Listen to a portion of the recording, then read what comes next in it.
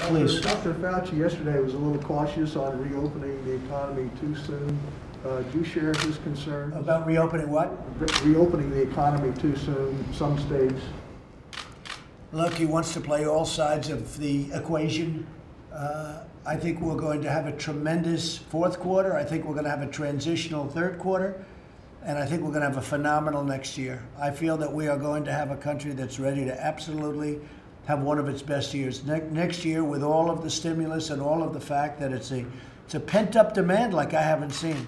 When you say Dr. Fauci is playing both sides, are you suggesting that the advice Well, he's giving to you is, is I was different? surprised by his answer actually, uh, because uh, you know, uh, it's just to me, it's not an acceptable answer, especially when it comes to schools. The only thing that would be acceptable, as I said, is professors, teachers, etc.